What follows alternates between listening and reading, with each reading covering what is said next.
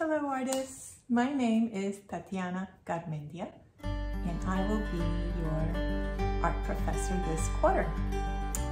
This term, this class is being taught as a hybrid, which means that we will meet one day of the week face to face in the fabulous Fine Arts Building. It's an historic building at the heart of Capitol Hill.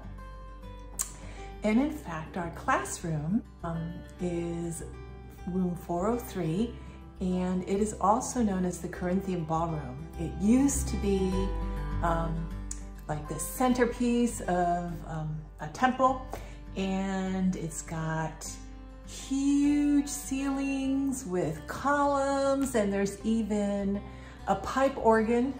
It's walled off so that we can't um, touch it. There's only five of those left in the world. It was handmade many, many years ago. It's a beautiful room um, full of natural light. We have a huge skylight. We have easels and horse benches and all of the uh, studio equipment that you can possibly need in order to do your artwork. So one day of the week we meet there on campus and the other day of the week you work online. And online I'll be presenting um, lessons.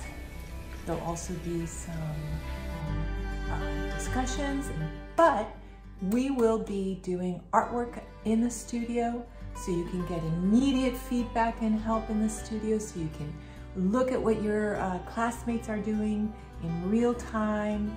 I wanted to tell you a little bit about my art practice. I started um, drawing and painting when I first came to this country was I didn't know any English and that's how I communicated. Um, I am deeply, deeply committed to drawing. Um, my drawing practice takes many different um, courses. I've done 3D drawing, so installation work. I've worked with different materials for my drawings from burns hair and tears, uh, gold leaf. I also, of course, draw with the same materials that you'll be drawing with, such as um, pastels, graphite, charcoal, color pencils. I am in love with all of the drawing materials. I've even dealt, um, tried my hand at animation.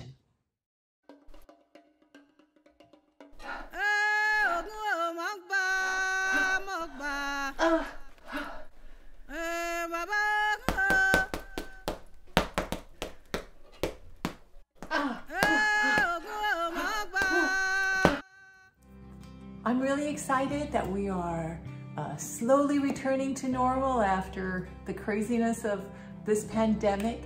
So I'm really excited. I can't wait to work with you and I want to thank you for joining us um, in this new hybrid class.